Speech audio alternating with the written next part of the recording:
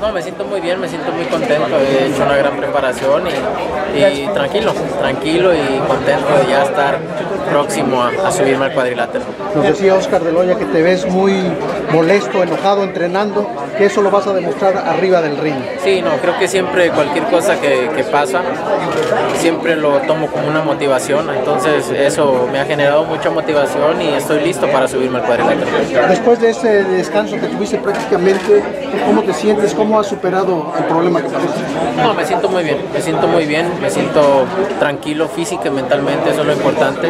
Y listo para el 15 de septiembre, creo que eh, soy un peleador que siempre se mantiene eh, con la cabeza fría y y, el corazón caliente. Entonces estamos listos para, para, para este 15 de septiembre. Tenías una pequeña molestia en la rodilla, ¿ya está superada? ¿Ya está encuentras al 100%? Sí, no, realmente eh, no fue mucho problema, no fue una cirugía complicada, entonces eso eh, pude recuperarme rápido y al contrario, me siento mucho mejor, con más confianza de poder entrenar fuerte y, y he estado entrenando muy bien, normal. ¿Qué se puede esperar de esta segunda pelea, Canelo?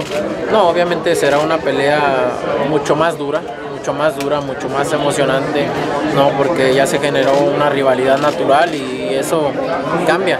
Quieras que no cambia, ¿no? La hora que te calientas en la pelea cambia ah, el ritmo de pelea, así que va a ser una gran pelea. Finalmente, en una fecha especial, el 15 de septiembre, que es eh, muy reconocida para los mexicanos, ¿no? Así es, me siento muy contento, muy orgulloso de representar a mi país en estas fechas tan importantes, así que estamos listos para, para, para hacerlo bien. Siempre le digas las peleas a tu hija, ahora ya yo creo que ya comprende más lo que es el boxeo, ¿no? Sí, así es, así es, ya tengo, ya tengo dos, así que ya hay que repartirles la, la, la dedicatoria, ¿no? Pero obviamente siempre lo hago por ella, siempre cualquier cosa que hago lo hago por mis hijas. El mensaje finalmente para los mexicanos que, que, siempre te han apoyado. Así es, no, agradecerles todo el apoyo que siempre me han brindado y espero el 15 de septiembre estén ahí como siempre porque será una gran pelea. Canelo, ¿te pone presión que Oscar pronostique un knockout?